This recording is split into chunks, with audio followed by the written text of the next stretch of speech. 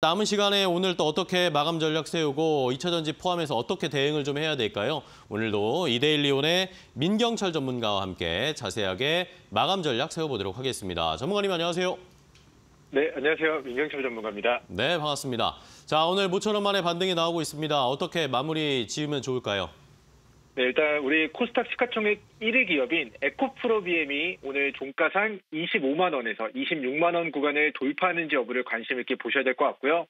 자, 이번 주에 이제 내일까지 해서 에코프로비엠이 26에서 27만 원의 저항 가격을 돌파한다면 에코프로비엠 기준으로 저는 30만 원에서 32만 원까지 추가 상승 가능성도 이제 염두를 해야 된다. 라고 좀 이야기를 드리도록 하겠고요.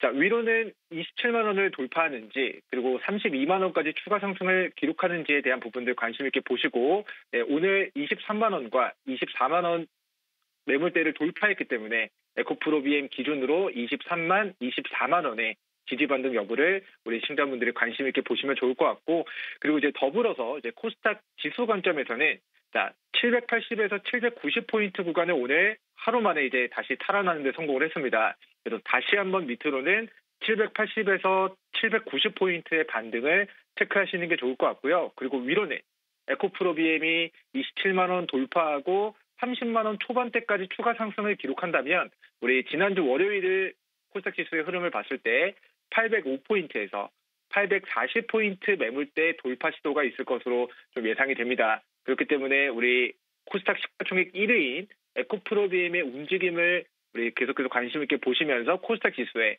805에서 840포인트 매물대를 다시 네, 돌파 시도하는지 이 부분을 좀 눈여겨보시면 좋을 것 같습니다. 네, 자 말씀해 주신 것처럼 저희가 살펴봐야 할 라인들을 설정을 해 주셨는데 그렇다면 이제 오늘 시장에서 마지막까지 좀 살펴볼 만한 종목도 좀 알려주시면 좋겠습니다. 네, 일단 뭐 2차 전지 관련주들 뭐 계속해서 워낙 변동폭이 크기 때문에 네. 뭐 관심 있게 봐야 된다라고 생각을 하는데요. 어, 일단 2차 전지 소재 관련주들이 올라간다면 뭐 2차 전지 장비 관련주들도 좀 따라서 올라가는 특성을 가지고 있기 때문에 네. 지금은 대형주 위주의 이제 강세가 나타나고 있지만은 이 흐름이 추세가 유지된다면 우리 장비 관련주들에도 수급이 좀 옮겨오지 않을까라는 관점에서 우리 시청자분들에게 관심 주는 필 에너지 종목을 좀 소개를 네. 시켜드리도록 하겠습니다.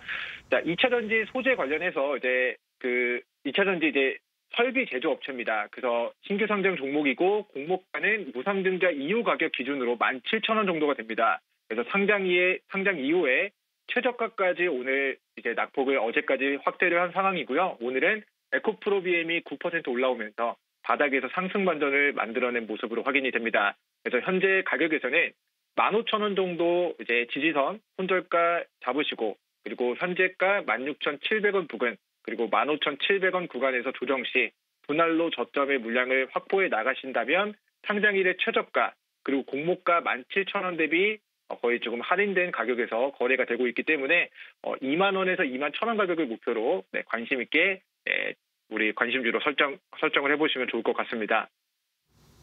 네, 알겠습니다. 자, 2차전지 관련 종목 중에 필에너지 오늘 마지막까지 저희도 잘 살펴보도록 하겠습니다. 오늘 좋은 전략, 마무리 전략과 종목까지 소개해 주셔서 감사하고 다음 시간에 또 뵙겠습니다. 고맙습니다. 감사합니다. 네.